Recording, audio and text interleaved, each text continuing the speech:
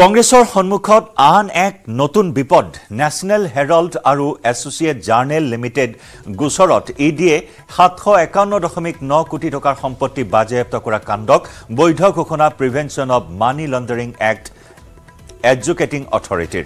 দুহেজাৰ তেইছ চনৰ একৈছ নৱেম্বৰত ই ডিয়ে জব্দ কৰিছিল এছ'চিয়েট জাৰ্নেল লিমিটেড আৰু য়ং ইণ্ডিয়াৰ প্ৰায় সাতশ বাৱন্ন কোটি টকাৰ সম্পত্তি। এছ'চিয়েটেড জাৰ্নেল লিমিটেডে প্ৰকাশ কৰিছিল নেশ্যনেল হেৰাল্ড যাৰ আঠত্ৰিছ শতাংশ শ্বেয়াৰৰ গৰাকী আছিল ছোনিয়া গান্ধীৰ লগতে ৰাহুল গান্ধী।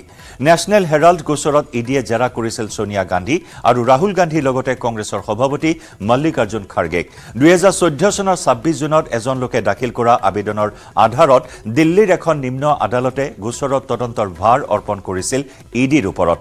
ঊনৈছশ আঠত্ৰিছ চনতে একাংশ স্বাধীনতা সেনানীৰে মিলি জৱাহৰলাল নেহৰুৱে গঢ় দিছিল নেশ্যনেল হেৰাল্ড বাতৰি কাকত।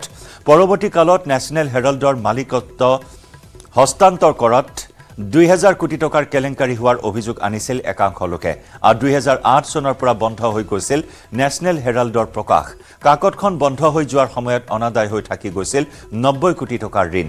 দুহেজাৰ বাৰ চনত বিজেপি নেতা সুব্ৰমণিয়াম স্বামীয়ে নেশ্যনেল হেৰাল্ড গোচৰত ধনৰ অবৈধ লেনদেন হোৱাৰ অভিযোগ আনিছিল ছোনিয়া গান্ধী আৰু ৰাহুল গান্ধীৰ বিৰুদ্ধে।